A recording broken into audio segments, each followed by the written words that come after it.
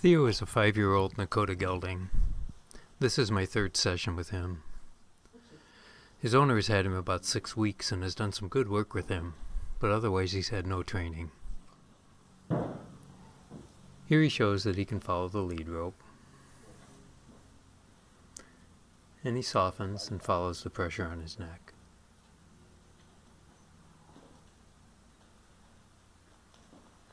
He knows that I want it, him to follow me at liberty.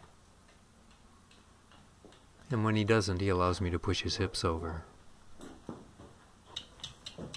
If that doesn't work, I can drive him a little. And he shows confidence and understanding by complying, not overreacting, and by relaxing and facing me as soon as the pressure is removed.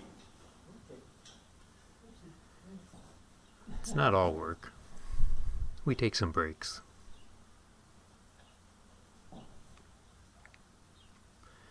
He's been head shy and difficult to catch and halter, but he's getting better.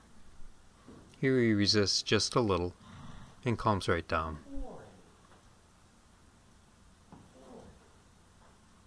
Like most untrained horses, he's developed habits and responses that allow him to get through life with the least stress, avoidance and resistance, and even spooking.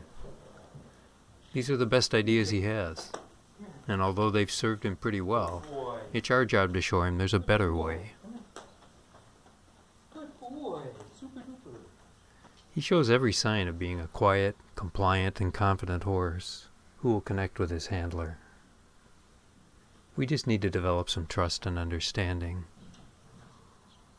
We're starting at the very beginning here and asking him to allow us to touch him all over.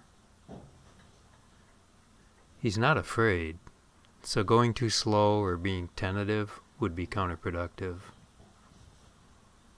We need to move him along, patiently, but with high expectations.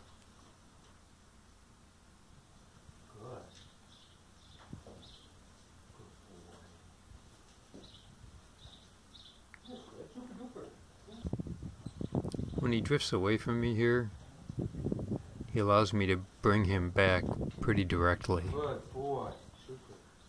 No nerves, just compliance.